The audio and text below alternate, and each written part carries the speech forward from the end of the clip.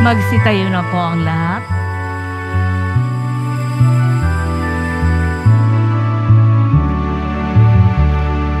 ating dakilain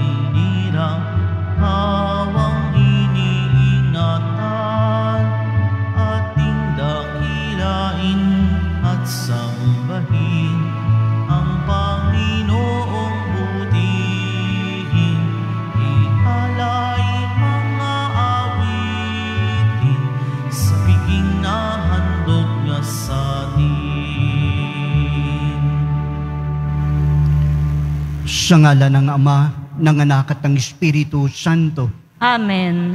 ang pagpapala ng ating Panginoong Kristo, ang pag-ibig ng Diyos Ama, ang pakikipagkaisa ng Espiritu Santo ay sumainyo lahat. At sumaiyo rin. Magandang umaga mga kapatid. Sa araw pong ito, tayo ay nagdiriwang at ginugunita ang kapistahan ni San Agustin, Obispo Pantas ng Simbahan. At sa ating pagdiriwang, patuloy nating itinataas ang intensyon sa misang ito, ang ating mga personal na kahilingan at gayon din ang mga humihingi ng panalangin at ang ipapayapa ng kaluluwa ni Yolanda.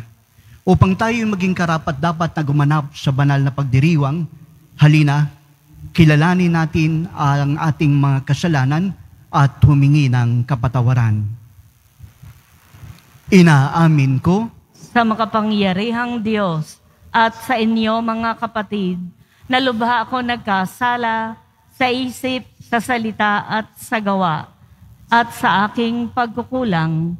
Kaya isinasamo ko sa mahal na Birheng Maria, sa lahat ng mga anghel at mga banal, at sa inyo mga kapatid, na ako'y ipanalangin sa Panginoong ating Diyos. Kawan tayo ng makapangyarihang Diyos, patawarin tayo sa ating mga kasalanan at patnubayan tayo sa buhay na walang hanggan. Amen. Panginoon, kaawaan mo kami. Panginoon, kaawaan mo kami. Kristo, kaawaan mo kami. Kristo, kaawaan mo kami. Panginoon, kaawaan mo kami. Panginoon, kaawaan mo kami. Manalangin tayo. Ama naming mapagmahal, paggalob mong sa iyong sambayanan ang panibagong bunsog ng Espiritu na pumupuspos kay San Agustin.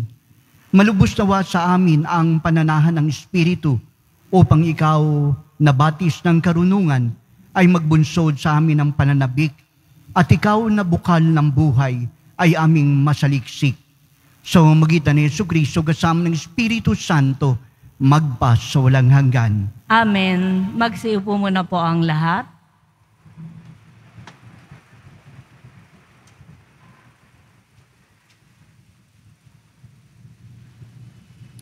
Ang simulan ng unang sulat ni Apostol San Pablo sa mga taga Tesalonika. Mula kina Pablo, Silas at Timoteo, sa simbahan sa Tesalonika, mga hinirang ng Diyos Ama at ng Panginoong Heso Kristo, sumainyo nawa ang pagpapala at kapayapaan. Lagi kaming nagpapasalamat sa Diyos dahil sa inyo at tuwinay isinasama namin kayo sa aming dalangin. Ginugunita namin sa harapan ng ating Diyos at Ama ang inyong mga gawang bunga ng pananampalataya, ang inyong mga pagpapagal na udyok ng pag-ibig, at ang matibay ninyong pag-asa sa Panginoong Heso Kristo. Nalalaman namin, mga kapatid, na kayo'y hinirang ng Diyos na nagmamahal sa inyo. Ang mabuting balita na lubos naming pinaniniwalaan ay ipinahayag namin sa inyo hindi sa salita lamang. Ito'y may kapangyarihan at patotoo ng Espiritu Santo. Nakita ninyo kung paano kami namuhay sa inyong piling. Ito'y ginawa namin para sa inyong kabutihan. Sapagkat hindi lamang ang salita ng Panginoon ang lumaganap sa Macedonia at Akaya sa pamamagitan ninyo. Pati ang balita tungkol sa inyong pananampalataya ay kumalat sa lahat ng dako. Ano pat hindi na kailangang magsalita pa kami tungkol dito. Sila na ang nagbabalita kung paano ninyo kami tinanggap. Sila rin ang nagsabing tinalikdan na ninyo ang pagsamba sa mga Diyos-Diyosan upang maglingkod sa tunay at buhay na Diyos at maghintay sa kanyang anak na si Jesus. Siya ang muling binuhay na magbabalik mula sa langit at magliligtas sa atin sa darating na puot ng Diyos. Ang salita ng Diyos. Salamat sa Diyos. Panginooy nagagalak sa hirang niyang mga anak Panginooy nagagalak sa hirang niyang mga anak. ang Panginooy purihin, awitan ng bagong awit, purihin sa pagtitipon ng tapat sa pananalig. Magalak ka o Israel, dahilan sa manlilikha, dahilan sa iyong hari, ikaw siyon ay matuwa. Panginooy nagagalak sa hirang niyang mga anak. Purihin sa pagsasayaw, purihin ang kanyang ngalan. Alpat tambol ay tugtugin, at siya ay papurihan. Panginooy nagagalak sa kanyang mga hirang. Sa nangagpapakumbabay, tagumpay ang ibibigay. Panginooy nagagalak sa hirang niyang mga anak. Sa tagumpay na natamo, magalak ang mga hirang. Sa kanilang pagpipista ay magsaya't mag-awitan. Sa pagpuri sa Panginoon ay bayaang magsigawan. Ang tatanggap ng tagumpay ay ang kanyang mga hirang. Panginooy nagagalak sa hirang niyang mga anak. Magsitayo na po ang lahat.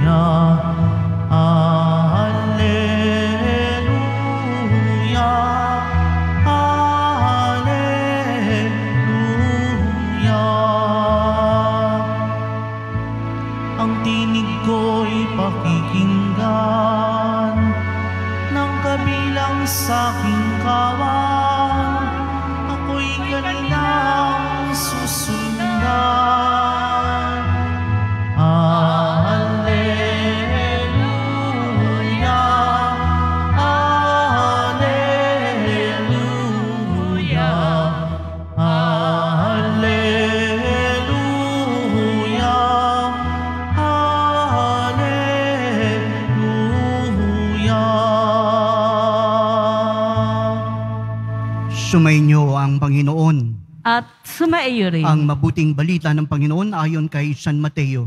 Papuri sa iyo, Panginoon. Nung panahong yun, sinabi ni Jesus sa mga aba, Aba ninyo mga eskriba at mga pariseyo, mga mapag-imbabaw. Hinahadlangan nyo ang mga tao upang hindi makapa, mapagharian ng Diyos. Ayaw na ninyong pasakop sa paghahari ng Diyos. Hinahadlangan pa ninyo ang ibig pasok, papasok. Saban nyo mga eskriba at mga pariseyo, mga mapag-imbabaw, inuubos nyo ang kabuhayan ng mga babaeng balo at ang sinasangkalan ninyo'y pagdarasal ng mahaba. Dahil dito'y lalo pang bibigat ang parusa sa inyo. Sa aban nyo, mga iskriba at mga pariseyo, mga mapag-imbabaw, nilalakakbay ninyo ang kargatan at ginagalugad ang buong daigdig. Makahikayat lamang kayo ng kahit isang hentil sa pananampalatayang Hudyo. At kung mahikayat nat, ginagawa niyong masahol pa kaysa inyo. Kaya't nagiging ibayo ang dahilan para siya'y parusahan sa impyerno.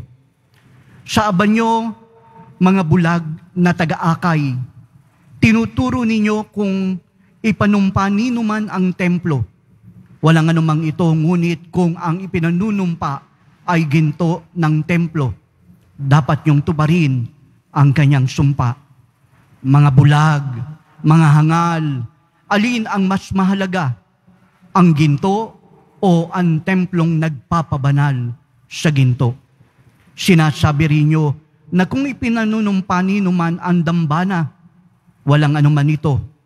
Ngunit kung ang ipinanunumpa ay ang handog na nasa dambana, dapat niyang tubdin ang kanyang sumpa. Mga bulag, alin ba ang mas mahalaga? Ang handog o ang dambanang nagpapabanal sa handog? Kaya nga, kapag ipinanumpa ni numan ang dambana, ipinanunumpa niya iyon at ang lahat ng handog na naroroon. Kapag ipinanunumpa ni numan ang templo, pinanunumpa niya iyon at ang mga tumatahan doon. At kapag ipinanumpa ni numan ang langit, ipinanunumpa niya ang trono ng Diyos at ng kaluklukan doon.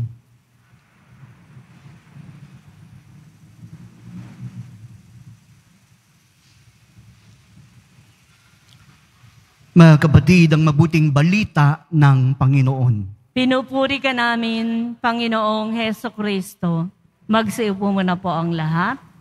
Magandang umaga po sa ating lahat, mga kapatid. Sa lahat po ng narinito, sa lahat ng mga nonood at patuloy na nakikibahagi sa ating pong ah, misa ah, dito sa ating bayan at sa buong mundo. Alam niyo po mga kapatid, ngayon po ay nagdiriwang tayo ng kapistahan ni San Agustin at kahapon pinagdiriwang po, pinagdiwang po natin ang kapistahan ni Santa Monica, ang nanay ni Agustin. At makita niyo po talaga kung paano talaga nagdasal ang nanay sa isang makasalanang Agustin. Kapag inisip po natin, ang sabi nga po ng iba, kung titignan po raw ang kasalanan ni Agustin, sobra-sobra. At makikita po talaga natin, halos nalulun na po siya talaga. At ang mga kasalanan pong kanyang ginawa ay talagang kasuklam-suklam. Pero dulot na rin po ng panalangin ng kanyang ina, nagkaroon ng pagbabago ang buhay ni Agustin. At ang pagtugon po ni Agustin ay naging tunay na kabanalan at pagmamahal sa Diyos. Kaya naman, hindi po nakapagtataka, siya po'y ngayong isa ng ganap na santo at hindi lang po yan ang doctor of the church. Mga kapatid, ano po ba yung mga sinabi ni Agustin na pwede po nating pulutin at tignan at pagnilayan?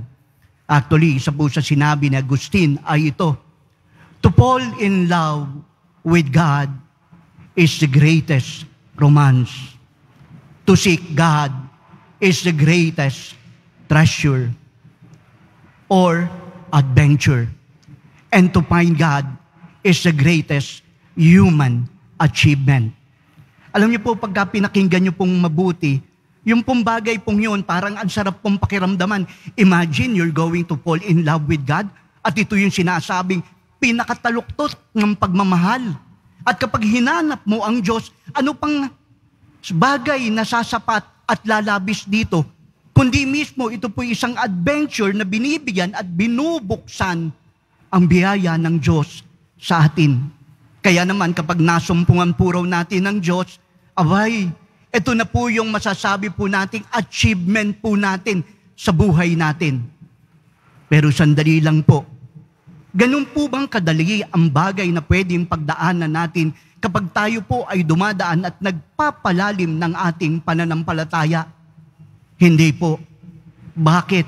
Sa Ebanghelyo, pinapaalala po sa atin ang bagay pong ito. Ang mga skriba at mga pariseyo na makasalanan at masigit pa rito, mapag-imbabaw. Sa ibang lang salita, pwede po natin sabihin na hindi lang po sila mapag-imbabaw, kundi mapagbalat kayo. Nag-aasta po silang banal, subalit sa kaloob-looban ng kanilang kaluluwa, itim kahit na ang buto nila. Bakit?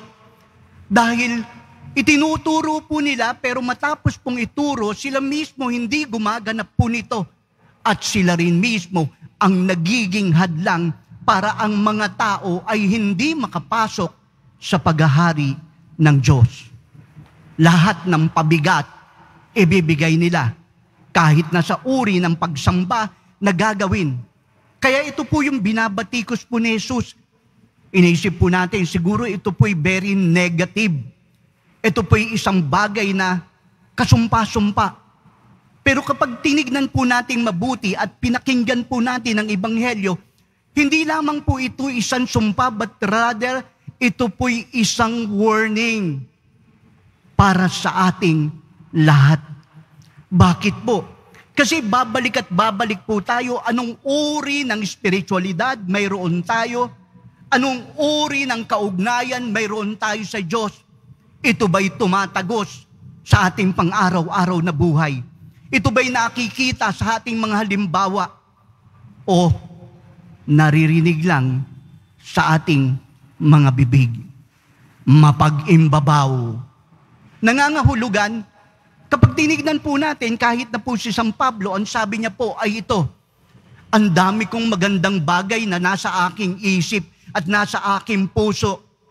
Pero towards the end of the day, ang ginagawa ko ay taliwas sa magagandang isip at sa magandang layunin ng puso ko. Kung ganon, hindi po pala maging madaling magpakabanal. Bakit po? Kapag tinignan niyo po yung term po natin, yung mapag-imbabaw, anong pagkakaiba nito sa makasalanan? Bakit po? Ang makasalanan, makikita niyo po na tumatanggap po siya na siya ay makasalanan. Iniisip niya po na siya ay nagkulang. Ginawa niya po ang mga bagay na salungat sa turo at aral ng Diyos. Kaya ikaw ay makasalanan. Ako po ay makasalanan. Tayong lahat na naririto ay makasalanan. Pero kapag sinabihan kang mapag-imbabaw, mas nakatatakot. Bakit po? Mapag-imbabaw ka. Dahil hindi mo tinatanggap na ikaw ay makasalanan, bagkus nagpapanggap ka na ikaw ay banal. Mga kapatid, ano po yung pamamaraan para matakasan natin ang ganitong uri ng pagpapahayag ng pananampalataya? Una, kababaan ng loob. Mapag-imbabaw, mapagkumbaba.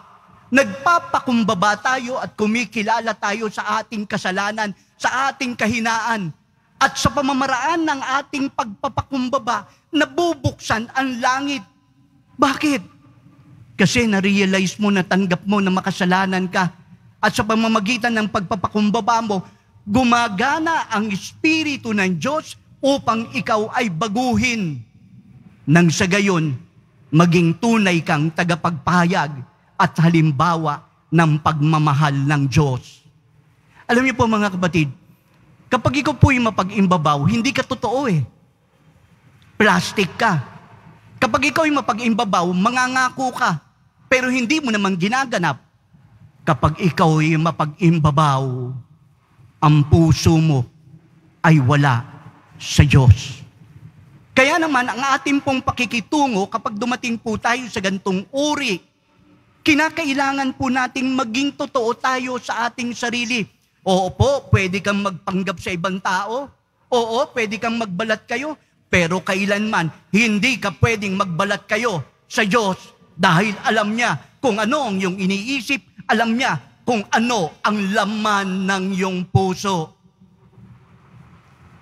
Mga kapatid, Bakit pag nakakakita po tayo ng mga tao, hindi mo ko nakilala. Pero nag-glow yung mukha niya. Ang ganda ng pagtingin niya. Bakit?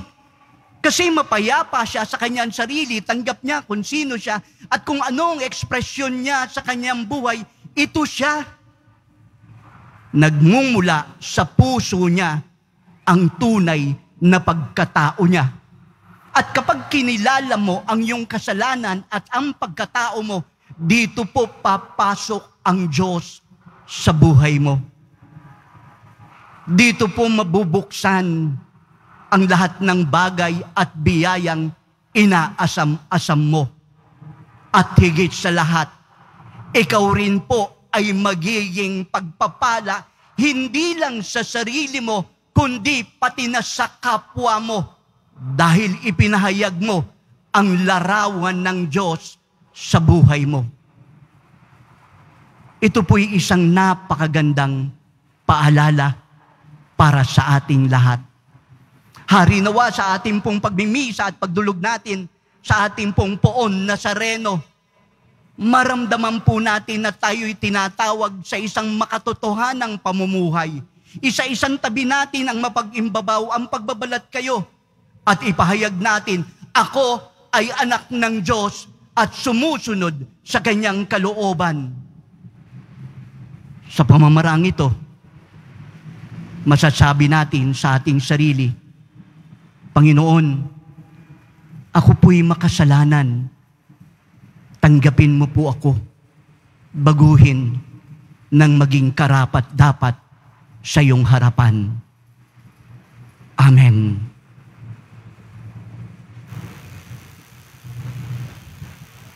Magsitayo na po ang lahat.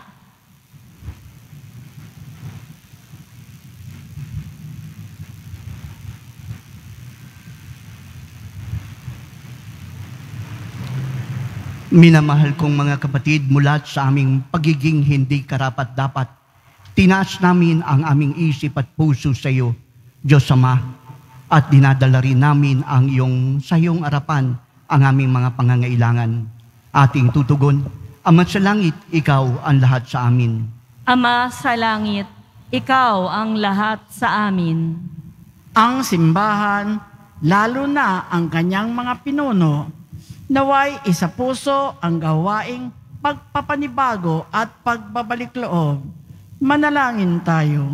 Ama sa langit, ikaw ang lahat sa amin. Ang mga opisyal ng gobyerno, naway magpakita ng tunay na malasakit sa katarungan, dangal at pagkakaisa.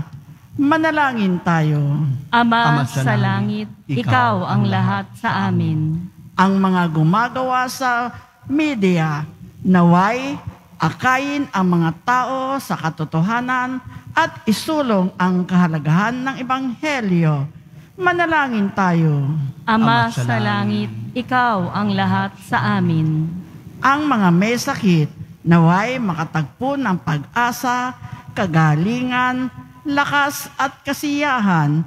Manalangin tayo. Ama, Ama sa sa langit, langit, ikaw ang lahat sa amin.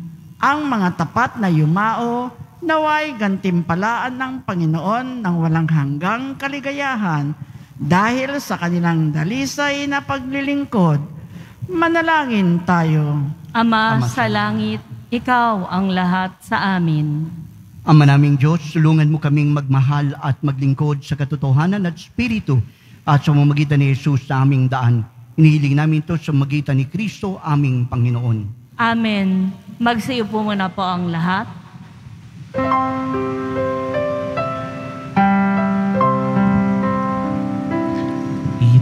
alak at tinapay ay sa iyo, Ama. Ito'y bunga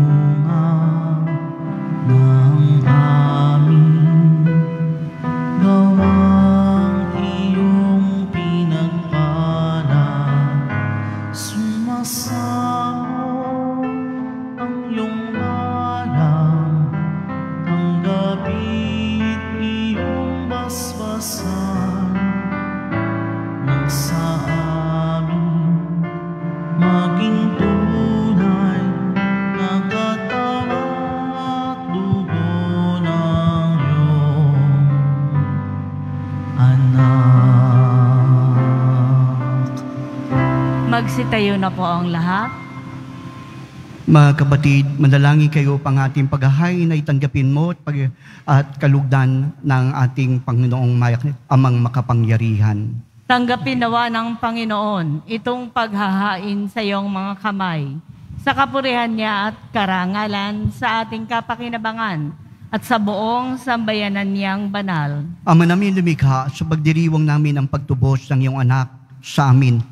Maihainawa namin ang ginugot nita ni San Agustin, ang paghinabang sa mandapat at napagsasama, ang panandang ito ng pag-ibig at pagkakaisa sa magitan ni Yesu Cristo kasama ng Espiritu Santo magpa sa walang hanggan. Amen. Sumainyo ang Panginoon. at sumaiyo rin. Taas sa Diyos ang iyong puso't isipan. Itinaas na namin sa Pasalamatan Panginoon. natin ang Panginoong ating Diyos. Marapat na siya ay pasalamatan. Ama naming makapangyarihan, tunay ngang marapat na ikaw ay pasalamatan sa magitan ni Yesu Kristo aming Panginoon.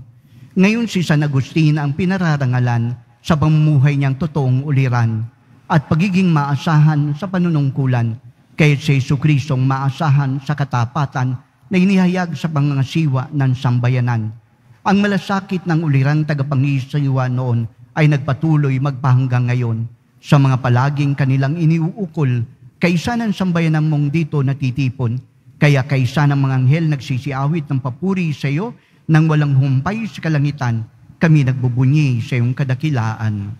Santo, Santo, Santo, Panginoong Diyos ng mga hukbo, napupuno ang langit at lupa ng kadakilaan mo, o sana sa kaitaasan, pinagpala ang naparirito sa ngalan ng Panginoon, o sana sa kaitaasan.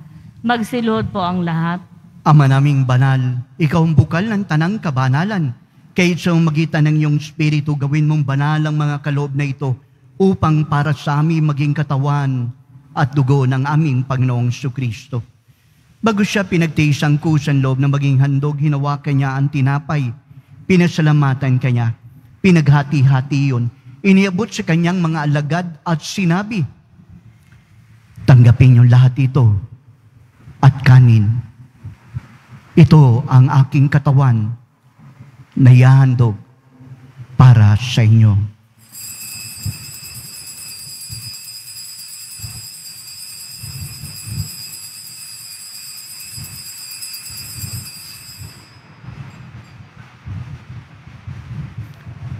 Ganon din naman nung matapos sa hapunan, hinawakan niya ang kalis. Muli niyang pinasalamatan. Inabot ang kalis sa kanyang mga alagad at sinabi, Tanggapin niyo lahat ito at inumin. Ito ang kalis ng aking dugo, ng bagot walang hanggan tipan. Ang aking dugo na ibubuhos para sa inyo at para sa lahat sa gabagpapatawad ng mga kasalanan. Gawin niyo ito sa pag-alaala sa akin.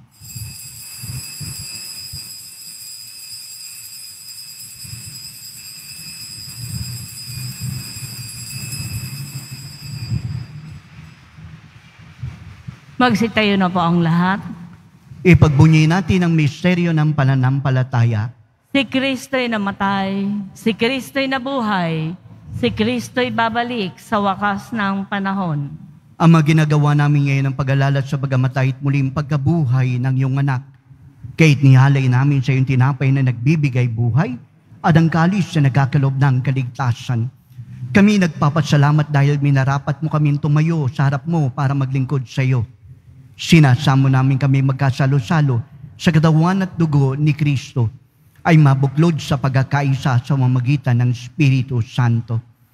Amalingapin mong simbahang laganap sa buong daigdig. Puspusin mo kami sa pag-ibig kaysa ni Francisco na aming Papa, ni Jose na aming Obispo, lahat ng mga pari, marilyoso, diakono at ang intensyon ng iyong bayan. Alalahanin mo rin mga kapatid naming nahimlay na may pag-asang sila'y muling mabubuhay, gayon din ang lahat ng mga pumanaw. Yolanda, kawan mo sila't patuloyin sa iyong kaliwanagan. Kawan mo't pagindapating kaming lahat na makasalo sa iyong buhay na walang wakas. Kaysa ng mahalabiring Maria, ina ng Diyos, ng kabiyak ng puso niyang si Jose, kaysa ng mga apostol, San Juan Bautista, lahat ng mga banal na namuhay dito sa daigdig ng kalugod-lugod sa iyo. may pagdiwang na namin pagpupuri sa kararangal mo sa pamamagitan ng iyong anak, naming Panginoong Heso Kristo. Sa pamamagitan ni Kristo, kasama niya at sa Kanya, ang lahat ng parangal at papuri ay sa iyo, Diyos sa mga makapangyarihan, kasama ng Espiritu Santo, magpa sa walang hanggan. Amen. Sa dagubili ng nakagagaling na utos at turo ni Jesus, Panginoon natin at Diyos, pahayag natin ang lakas loob. Ama namin, sumasalangit ka, sambahin ang ngalan mo. Mapa sa amin ang kaharian mo. Sundin ang loob mo dito sa lupa para nang sa langit. Bigyan mo kami ngayon ng aming kakanin sa araw-araw at patawarin mo kami sa aming mga sala para ng pagpapatawad namin sa nagkakasala sa amin. At huwag mo kaming ipahintulot sa tukso at iadya mo kami sa lahat ng masama. hinihiling namin kami Diyos sa lahat ng masama pagkaroon ng kapayapaan araw-araw. Ligtas sa kasalanan, ilayo sa lahat ng kapahamakan, samantalang aming pinananabikan ang nakilang araw ng pagpapahayag ng tagapagligtas naming si Yesu Kristo. sapagkat iyo ang kaharian at ang kapangyarihan at ang kapurihan magpakailanman. Amen. Mga kapatid, alin ang manalangin para sa kapayapaan, kapayapaan sa buong mundo, kapayapaan sa ating bayan, kapayapaan sa ating tahanan, kapayapaan sa ating puso. Panginoong Kristo, sinabi mo sa iyong mga apostol, kapayapaan ang iniiwang ko sa inyo. Ang aking kapayapaan ang ibinibigay ko sa inyo. Tunghayin mo ang aming pananampalataya at huwag ang aming mga pagkakasala. Paggaluman kami ng kapayapaan at pagkakaisa ayon sa iyong kalooban, kasama ng Espiritu Santo, magpas sa walang hanggan. Amen. Ang kapayapaan ng Panginoon ay laging sumainyo, At sumaiyo rin. magbigayan tayo ng kapayapaan sa isa't isa.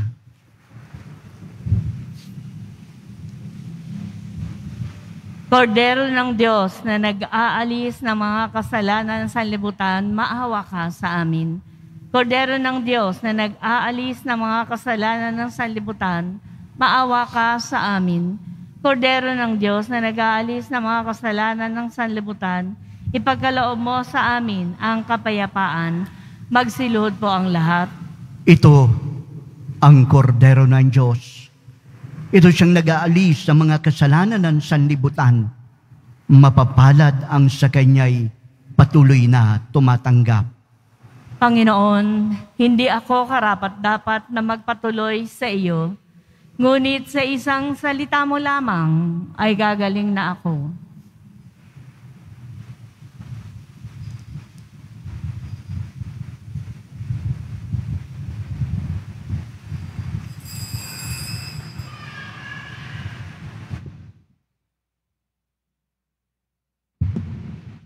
Para po sa lahat ng tatanggap ng banal na komunyo, sasagot po tayo ng amin. Pagkasabi po ng pari o ng lay ministers ng katawan ni Kristo at isupo po agad sa bibig bago umalis sa harapan ng pari o lay ministers.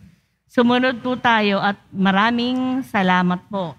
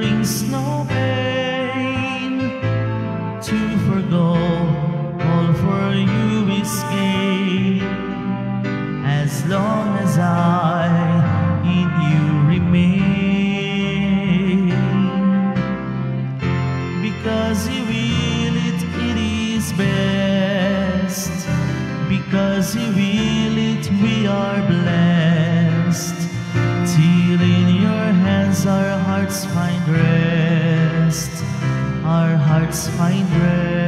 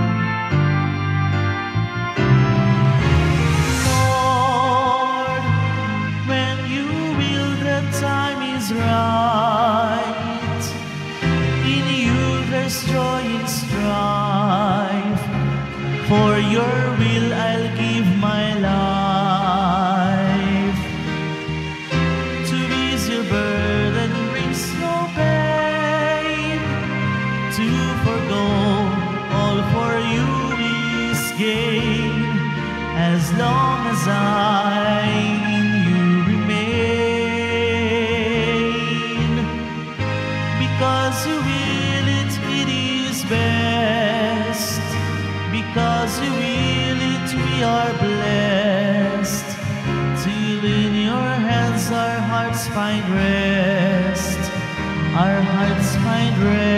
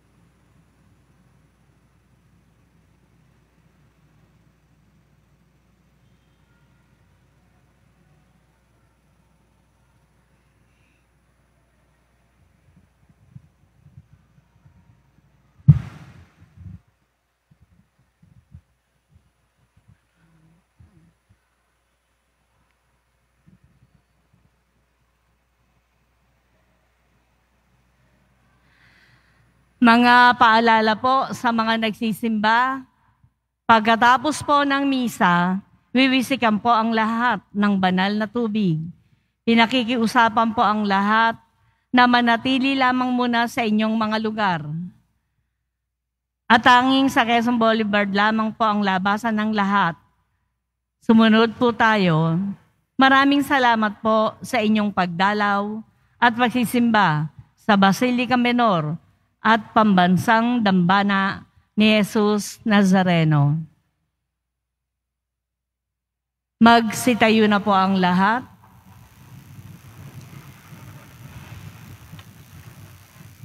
Manalangin tayo. Ama naming mapagmahal, ang pagkikinabang namin sa hapag ni Kristo ay magpabanal nawa sa amin upang kaming mga kaanib niyang tumanggap sa Kanya ay maging talagang siyang sa pamamagitan niya kasama ng Espiritu Santo magpa sa walang hanggan. Amen. Sumainyo ang Panginoon At sumaiyo rin. pagbabasbas ng poong Nazareno. Mahal na poong Nazareno, Inihayag mo sa magitan ng krus ang walang maliw na pag-ibig, ang pagmamahal ng Diyos sa sangkatauhan. Pakinggan mo ang kahilingan ng iyong angkan na nagsusumamo sa iyo. Makamtanawa nila ang iyong katugunan at tanggapin ang kasagutan ng may utang na loob na tinatanaw.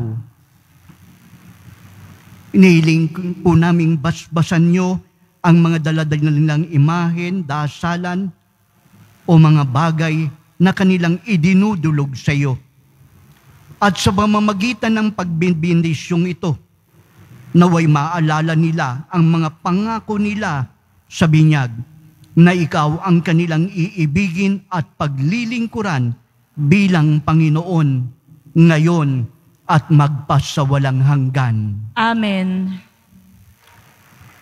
At pagpalain kayo ng makapangyarihang Diyos, Ama, Anak, at Espiritu Santo. Amen. Humayo kayong taglay ang kapayapaan ng poong Jesus Nazareno. Salamat sa Diyos.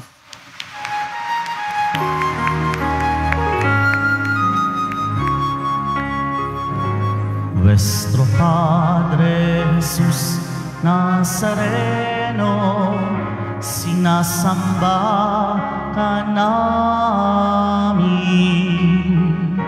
pinipintuho ka namin, aral mo ang aming buhay at kaligtasan, Nuestro Padre Jesus Nazareno, iligtas mo kami sa kasalanan. Ang krus mong kinamatayan ay sagisag ng aming kaligtasan. Nuestro Padre Jesus Nazareno, dinarangal ka.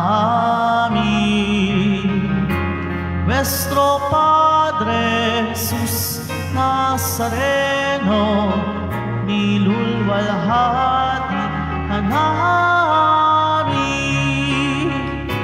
Nuestro Padre Jesus Nazareno,